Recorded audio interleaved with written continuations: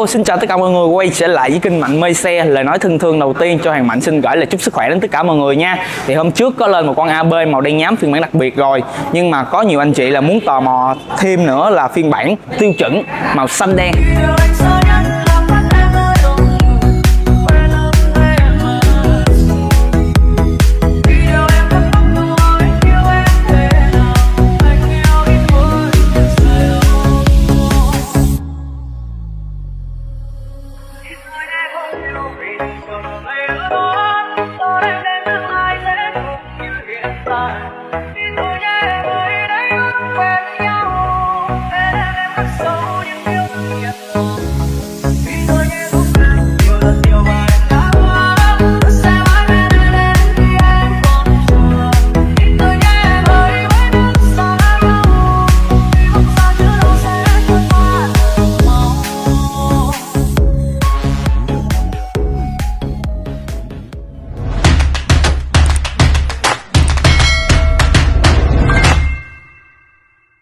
AB125 S đi cộng 4 van này nha mọi người. Đó, đầu tiên mọi người có thấy là ngoại hình, đó, rất là thon, gọn ha.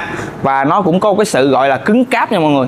Cái dòng AB này được rất nhiều là anh chị trung niên thích nè, và những anh chị công sở rất là thích cái dòng AB này luôn. Về cái phần thiết kế nè, thanh lịch nhẹ nhàng đơn giản nhưng mà rất là chất lượng nha mọi người.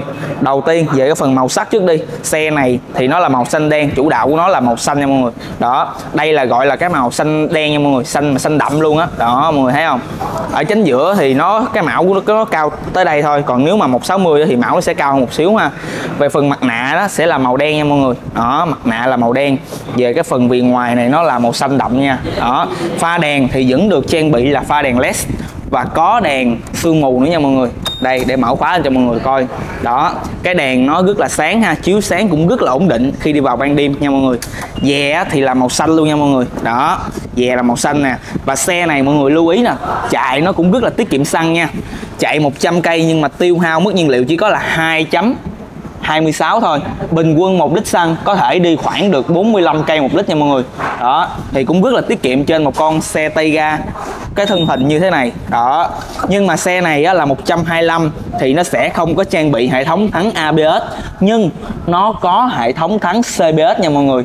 CBS ở đây có nghĩa là thắng kết hợp bóp thắng sau nhưng mà thắng trước nó vẫn hoạt động luôn nha mọi người. Đó và xe này, cái đĩa trước của nó nè, mọi người. Heo dầu sử dụng là heo dầu Nissin một bít tông.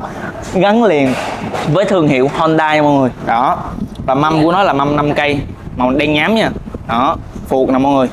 Đó tiếp theo thì tới cái phần tem của nó đây nè mọi người. Đó, trên đây thì có chữ Honda nè ha. Ở dưới đây là để chữ AB nè. Đó 125 nè ha. Về phần sàn xe của nó thì cái xe này á, đang có lên thêm một món kiểu đó chính là cái ba ga với lại cái thảm chân nha mọi người. Đó, mọi người thấy không? Tại vì có cái thảm chân này á, nó sẽ đỡ bị chày cái miếng nhựa của xe của mình. Còn nếu mà không có cái thảm chân này á, thì nó rất là dễ bị chày nha mọi người. Thì cái này mọi người thích thì mọi người sẽ order thêm ha. Ba ga thì sẽ, nó sẽ không có theo xe cho mình và cái phần động cơ này mình rất là thích nha mọi người. Ở chỗ là được trang bị động cơ ESP cộng 4 van. Thì nó giúp xe mình tăng tốc rất là mượt mà. Và xe mình di chuyển, nó cũng rất là mạnh mẽ ha mọi người ha. Về cái phần boe mọi người có thể thấy là nó thiết kế rất là bự ha. Để cho nó chứa gió rất là nhiều. Và nó hút gió vô nhiều thì xe mình nó cái lực nó lên á, tăng tốc cũng rất là mượt mà. Và về phần sau á, thì xe luôn được trang bị là hai phuộc nha mọi người. Đó, nhưng mà mình phải nói về cái ốp sườn trước đi. Cái ốp sườn mọi người thấy không? Giờ nó thon gọn không? Nó kéo dài ra tới đằng sau nè. Ngay chỗ này có cái miếng tem nè, màu bạc nè ha. Ngay chỗ này là có logo nổi A Black nè. Đó, chữ logo nổi A Black nha mọi người. Về cái phần phục sau, đây cho mọi người coi. Đó cái phần phục sau thì xe này lên một cặp phục Racing Boy chính hãng nha mọi người. Ti này là ti 10 ly hay 12 ly mình cũng không có nhớ nữa. Mọi người biết á, thì comment ở dưới dùm cho mình với nha. Đó ở trên đây nó có khắc nè mọi người. Đó Racing Boy chính hãng phục ti vàng lò xo đen rất là đẹp luôn ha. Về cái phần đuôi cái con xe AB này nha mình rất là thích luôn nha mọi người. Đây cái body của nó ngay chỗ này mình rất là thích luôn. Nó rất là khích nha mọi người. Nó không có hở ra quá nhiều so với lại những cái đời trước đó. Mọi người thấy không? Cái phần bô nè. Thiết kế giống như cây súng đại bác vậy. Đó. Đẩy chĩa thẳng lên như vậy nè mọi người. Thì cái phần bô này nó nó cao nó cũng có lợi thế một phần nữa là khi mình đi trời mưa hay là nước ngập gì đó đỡ bị tình trạng là nước nó vô ống bô của mình ha. Đó cái bô nó cao thì mình nghĩ là thiết kế nó cũng uh, tránh bị tình trạng bị uh, đi bị ngập nước ha. Và xe thì vẫn sử dụng á là két nước nha mọi người. Nó được trang bị tản nhiệt bằng két nước thì nó rất là ổn định khi mà mình đi đường xa, đường dài rồi nè.